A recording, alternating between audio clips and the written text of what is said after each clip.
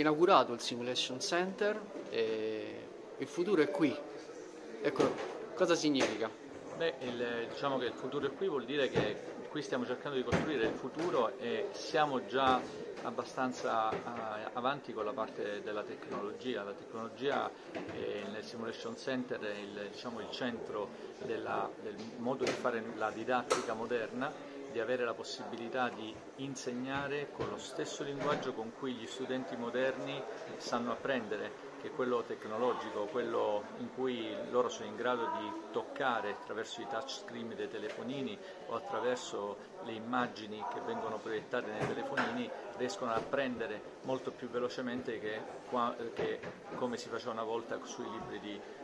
all'università. Quindi questa interazione e questa eh, didattica dinamica al centro proprio un centro di simulazione. Ecco, qui che tecnologie abbiamo?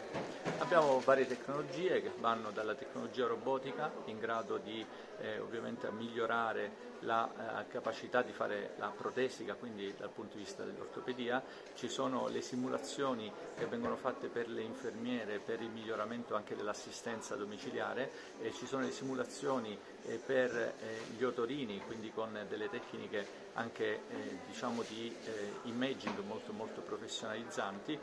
per la emodinamica cardiologica e l'angiografia, quindi per la parte radiologica interventistica e anche simulazioni di veri e propri scenari per eh, quanto riguarda i dentisti, gli odontoiatri, gli ingegneri, quindi per tutto ciò che è la loro parte di simulazione e anche di ambienti dove i professionisti sanitari si possono trovare immersi, quindi la cosiddetta sala immersiva, dove degli, degli ambienti reali, visivi e con anche delle, diciamo, delle, eh, delle attività sensoriali dal punto di vista anche dell'olfatto, si è capaci di essere una realtà in grado poi di essere simulata e poi essere applicata alla realtà. Perfetto, quindi dal punto di vista anche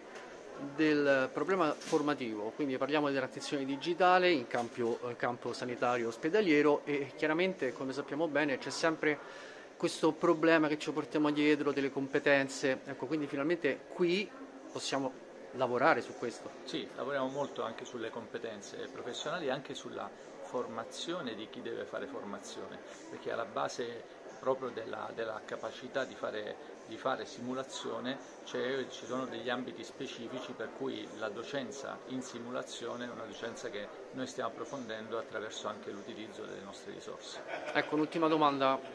c'è spazio per l'intelligenza artificiale? Abbiamo già delle applicazioni? Abbiamo delle applicazioni per l'intelligenza artificiale che vengono utilizzate proprio sui big data e, che utilizziamo proprio sulle tecniche operatorie andando a confrontare dei dati radiologici con dei dati eh, sul sistema eh, tecnico digitale.